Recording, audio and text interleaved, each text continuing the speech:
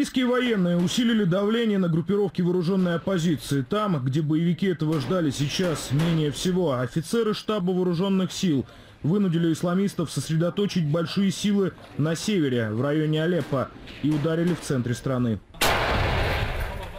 Это район Дамаска, Каабун. Далее территория, которую более полугода контролировали исламисты. В штабе операции офицеры правительственных сил обсуждают план наступления.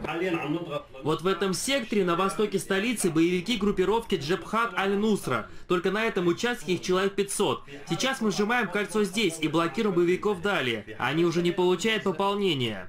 Почти год боевики использовали это направление, чтобы атаковать объекты в столице Сирии. Террористические группировки устраивали минометные обстрелы Дамаска, отправляли в город смертников. Снайперы отрядов оппозиции мобильны и хорошо подготовлены. Среди стрелков много наемников, для которых это не первая и даже не вторая война. Боевики используют подземные коммуникации, тоннели роют сами и проемы в зданиях для быстрого перемещения. Тактика исламистов «стреляй и беги». Они быстро переходят от обороны к наступлению и сразу после атаки стараются незаметно уйти.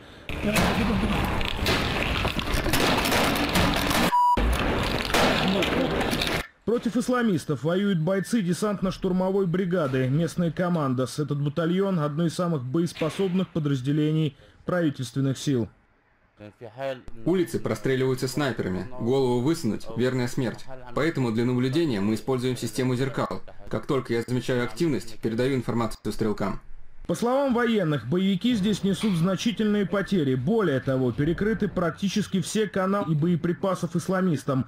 Группировкам здесь не хватает продовольствия и медикаментов, поэтому не хватает продовольствия и медикаментов, поэтому чуть ли не каждый день отряды салафитов пока безуспешно пытаются прорвать кольцо армейских подразделений и вырваться из окружения.